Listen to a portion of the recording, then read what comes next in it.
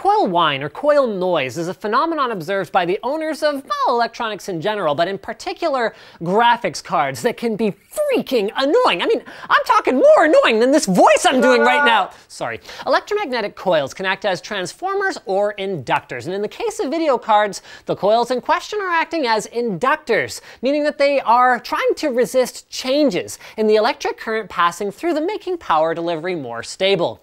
These coils have uh, a, a resonance at which they can actually physically vibrate or resonance frequency. And since electronic components are going to be receiving variable current, a varying magnetic field exists around the coil. And when these magnetic forces affecting the coil become strong enough, which in the case of video cards usually occurs when it's working harder, it will cause that coil to vibrate. And in some cases, that vibration can emit a high pitched noise like Ugh. It can be especially noticeable in certain applications like games, where a video card will be under varying amounts of load, which will cause the card to whine at a variety of different high pitches and can degrade your overall aural experience while using particularly open back headphones or speakers.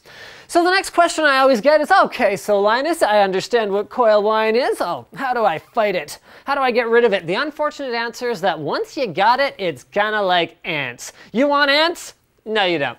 There's not a lot you can do to get rid of coil whine. In some products, damping or even doing things like applying silicone over top of the offending component has shown a reduction in the amount of vibration and therefore coil whine produced. And some power supplies have been known to react better or worse with different other components in the system to cause more or less coil whine in either of those components. But this is a very extreme solution replacing your power supply every time that causes coil whine with a particular component. And the unfortunate thing here is that Outside of very extreme cases of coil whine, most manufacturers will not fulfill an RMA for an affected product, and even if they did, it's likely that it would be considered normal for that product, and the one that you get in return is going to be the same anyway.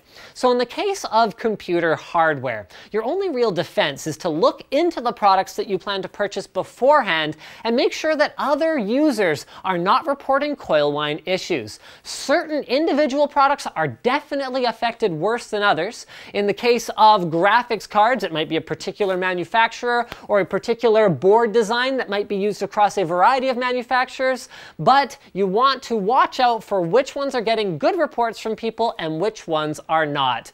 Then don't assume you're safe just because you buy a, you know, a non-reference card from a good manufacturer. As with anything in life, Check those reviews online before dropping a bunch of your hard-earned money on a product that may disappoint you down the line, or buy from somewhere with a solid return policy, so if you do need to swap it out for something else, you will be able to. One more tip though about coil whine is make sure that you've nailed it down to the right component.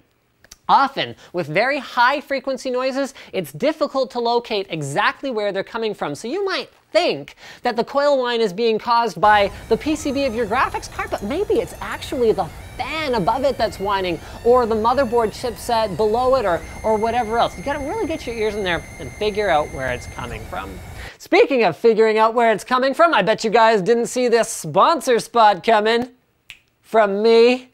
Today's episode sponsor is Cooler Master. They've got a wide range of reliable cases, power supplies, air and liquid coolers like their Nepton 240M, which we actually talked about a fair bit and is great for keeping your CPU cool. And they've also got peripherals for gamers and enthusiasts alike. For example, their Nova Touch TKL that everyone keeps asking, what is that keyboard in your video? What is that keyboard in your video? You guys got to check out our ultimate keycap replacement guide over on the Linus Tech Tips channel because we cover that particular keyboard, why it's so special and how you replace all the keycaps on it and make it look freaking awesome. All the information about how you can use their products most effectively and what each of them is meant to accomplish can be found over at the Cooler Master website or at CMU, Cooler Master University. They got a bunch of really great educational articles over there. And what's good about it is it's not just OMG, buy Cooler Master all the time, every day. It's actually seeking to help you make a more educated purchasing decision regardless of what you're shopping for. So thanks to Cooler Master for sponsoring this episode of Fast as Possible. You guys for watching and like this video if you liked it, dislike it if you disliked it, leave a comment if you have suggestions for future Fast as Possible episodes just like this one or different from this one, whichever you prefer. That's the point of suggestions. It doesn't have to be exactly the same thing. I mean, if everyone suggested I keep making the same video over and over again, I would keep making the same video over and over again and no one wants to see that. Thanks for watching. Bye.